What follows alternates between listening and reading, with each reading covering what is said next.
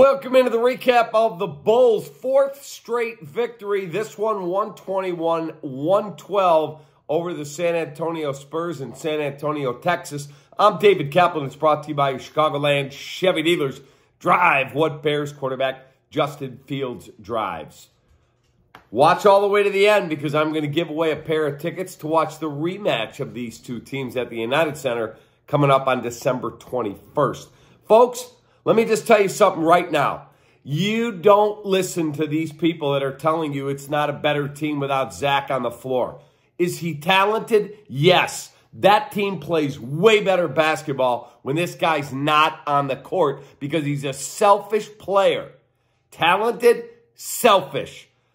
You watch that team compete tonight in the face of a tough night shooting the ball for DeMar DeRozan. He still gave you 20, six boards, and 10 assists.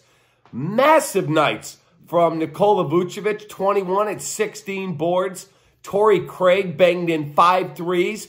Patrick Williams looks like a different freaking human being. He had 20 tonight. Yeah, you look at the numbers. P. Will, 20 and six boards and three assists and knocked down a couple threes. Uh, Coby White, 24, four rebounds, and six assists. Folks, different basketball team. You can tell me all you want. Do not listen to those people connected around the Bulls that go, oh, anyone that thinks we're not better without LaVine is nuts. You're nuts because you're not being honest with yourself. Be freaking honest. He's not a winning ball player, and the faster they get him off this team, the better this club will be. That's exactly right.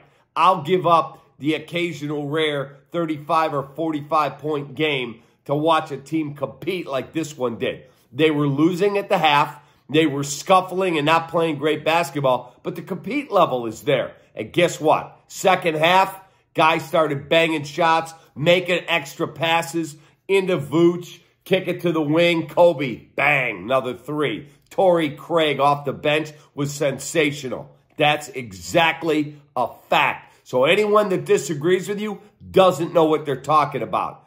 Maybe this will wake Zach up if they don't deal him. Because right now, teams are not beating down the Bulls' door to get Zach LaVine. So maybe watching this type of performance, maybe a light will go on. I doubt it, but maybe.